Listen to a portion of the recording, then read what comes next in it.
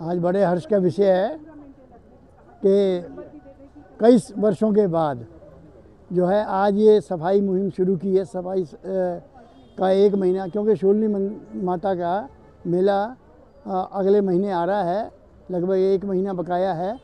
तो उस दौरान जो है नगर निगम ने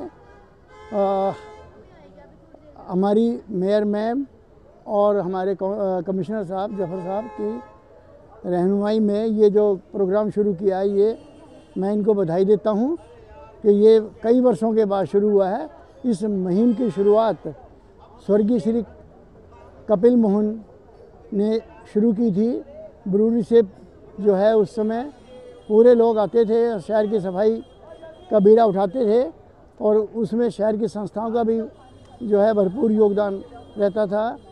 आज मुझे लगता है कि कई वर्षों के बाद ये जो मुहिम शुरू करी है और ये सफल होगी, इसमें मैं सभी शहरवासियों को भी निवेदन करता हूँ कि वो भी इसमें बढ़ चढ़कर भाग लें और इस मुहिम को सफल बनाएँ।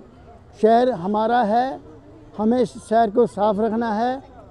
मैं तो ये चाहता हूँ कि हिमाचल में जो है हमारा सो, सोलन शहर आदर्श शहर बने, जिसमें हम एक, यानी बीड़ी का टुकड़ा या माचिस का एक जो है वो तिल्ली भी ना मिले यहाँ किसी को। ये ऐसा शहर हमारा बनना चाहिए। नगर निगम जो है बहुत प्रयास करता है शहर को साफ़ रखने के लिए। डोर टू डोर कूड़ा उठा रहे हैं। मंगलवार और शुक्रवार को सूखा कूड़ा उठाते हैं। बाकी छः दिन गीला गीला कूड़ा उठाते हैं।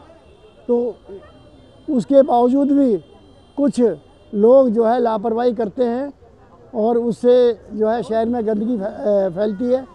मेरा सभी से निवेदन है कि ऐसा ना करें और सभी दुकानदार भी अपनी दुकानों में झाड़ू लगाकर सड़कों पर कूड़ा ना फैलाएँ और वो कूड़े को जो है बाकायदा जो है गाड़ियों को दें। गाड़ियाँ प्रॉपर आ रही हैं, अपने समय पर आ रही हैं। सभी से सहयोग की कामना करता हूँ। धन्यवाद।